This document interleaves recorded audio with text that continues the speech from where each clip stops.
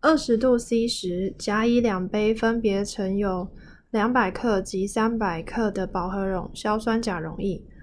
两杯要吸出等质量的晶体的条件是：好，那我们知道在饱和溶液的时候，溶剂所能溶解溶质的量，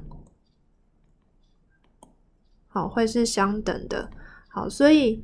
呃，这两个其实是成正比关系，所以如果我们呃蒸蒸去相同的重量的水的时候，就会吸出相同的溶质。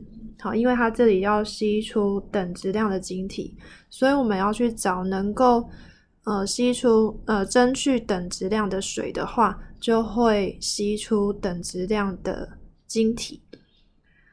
好，那我们来看一下下方的选项。A 选项同时降温至十度 C。好，那因为原来乙杯的中的溶质量就会比较多，因为它是三百克的饱和溶液，所以如果同时降至十度 C 的话，乙杯会吸出较多的溶质。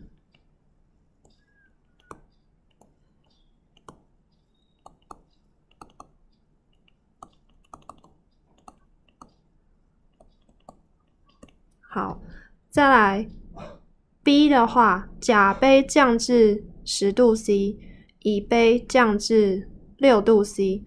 那我们发现乙杯降的温度又更多，好，所以乙杯就会溶，对，就会吸出更多的溶质。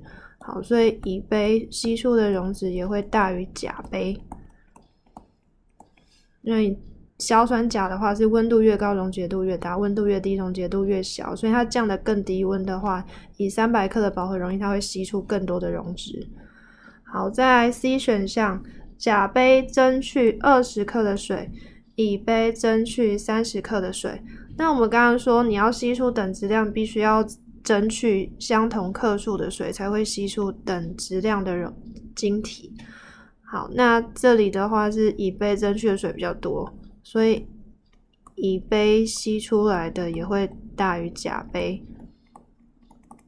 好，再来猪选项，甲杯蒸去水之后剩下一百克的溶液，那也就是它蒸去蒸发去两百减一百克等于一百克的水。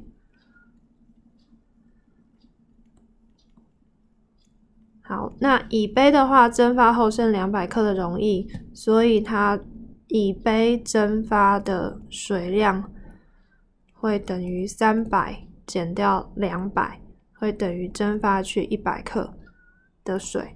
好，所以这个时候你就发现它蒸去来蒸去的水的重量是一样的，所以吸出来的质量晶体质量会是相等的。好，所以 D 选项是对的。在一选项，甲乙两杯各蒸去二十克水。好，那我们只要蒸去相同克数的水，就会吸出等质量的晶体，所以一选项也是对的。好，所以本题的答案选择是猪和一。好，我们看一下他给的答案。好，他给答案是猪和一，没有问题。好，那底下的叙述跟老师刚才说明的方式是一样的。那同学们可以参考一下他给的答案的叙述。